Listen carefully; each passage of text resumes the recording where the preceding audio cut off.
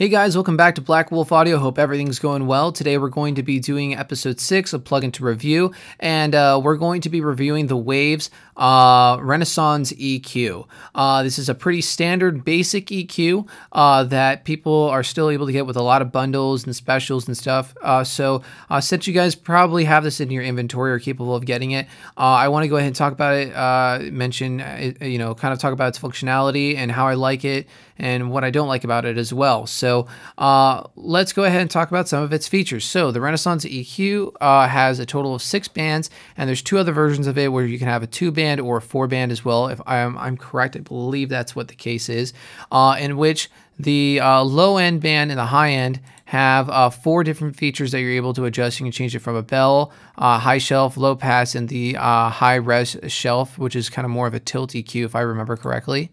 Let's take a look. Same thing here with this guy, right? Um, and the other ones, the other four in between, you're actually only able to change from a bell to a low shelf, right? So you do have some options there, not as a lot as some other plugins, but you still have some options there. The other nice thing about this plugin is that you are able to move each band across the frequency spectrum uh, without any limitations, so you get full range, which is nice as well. Um, and you also have an output, so pretty simple basic EQ. I feel that this is a step up from anyone who, let's say, if you are in Pro Tools using the standard, uh, where is it? EQ7 band right here, uh, where this only allows you to pick a certain frequency range, right? Uh, but uh, again, so the uh, Renaissance EQ might be a little bit of a step up for you. Um, now, what I want to do is this. I want to show you guys this track that I have. It's going to be just of a uh, room microphone picking up a breakdown for uh, some drums and a metal track. And I, I want to show you where sometimes uh, this uh, EQ can have a little bit of limitations, all right? So let's take a quick listen.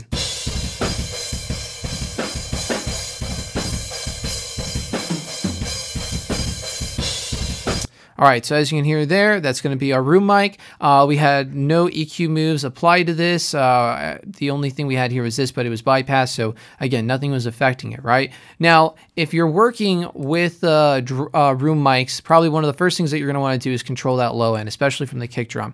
So the first thing I'll naturally do is go ahead and make a tight Q and find a frequency spot in which I want to go ahead and take out that low end.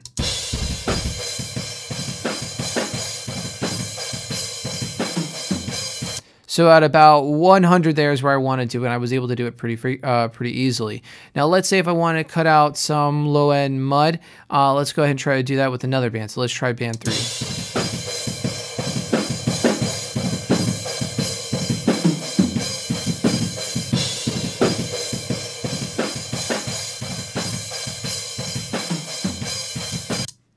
All right, and let's go ahead and work on some of the harshness that we're hearing in this track too.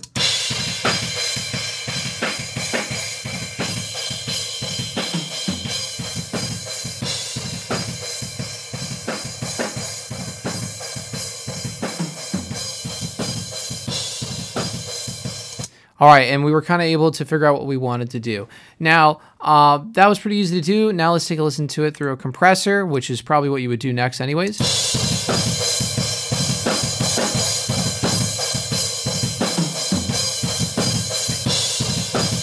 And life is all good and well. So definitely a very usable, easy to use EQ. Uh, if you haven't used, uh, if you haven't had the luxury to work on an EQ uh, where it gives you full range, this will be able to give you the ability to do so. And you have six bands, which might be better than some plugins that only offer you four. Now let's talk about the things I don't like about this plugin though. This plugin is very, very old. I got back into uh, recording audio mixing uh, and editing probably back in 2009. This plugin has been around since before that, so it's a very dated EQ. There are new EQs out there on the market, such as the FabFilter EQ, which I find to be a much more superior EQ. Though it is more expensive, it is highly worth the investment. Um, now, uh, the reason why is this is because the fact that first of all, this is a very small display to be working on. Uh, not that it's not usable. Obviously, you can see that I was able to do the same thing here, but uh, having a nice uh, a nice size display does help a little bit with locating the problems and uh, you know that's taking some of your time. And as they say in the industry time is money. Um, now The other thing I don't like about it, in comparison to the Fab Filter EQ, uh, you're able to go ahead and solo each band to find where the problematic frequencies are. Now, I do understand that Fab Filter EQ it has that kind of unique thing about it. There's not many a lot of EQs that do uh, that does that, and there are a lot of really great EQs that don't allow you to solo the bands, but are still really good. Uh, as far as a generic EQ though, that's that's kind of what I'd say this EQ is. It's very simple. It's kind of a step up if you're trying to get away from your stock plugins that come with your DAW.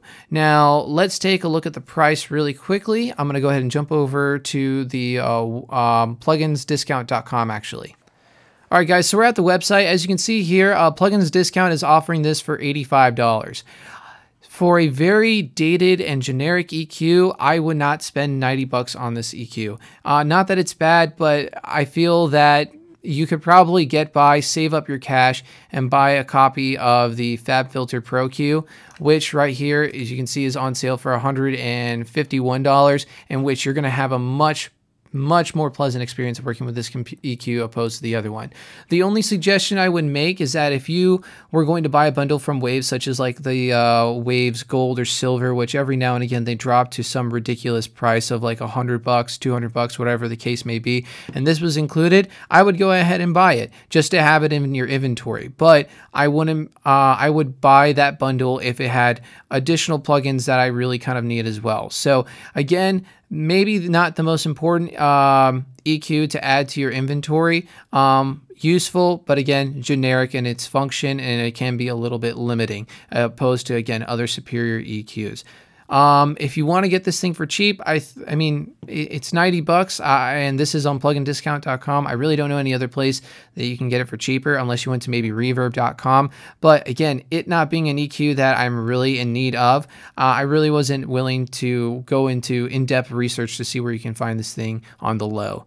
Anyways, guys, so I hope you guys like this uh, review. Uh, I hope I was able to save you guys some money, uh, kind of demonstrate how this plugin works. If you did like it, please do me a favor, give me a like, subscribe, and leave a comment in the sections below for different plugins that you'd like to see me review on the next episode of Plugin to Review.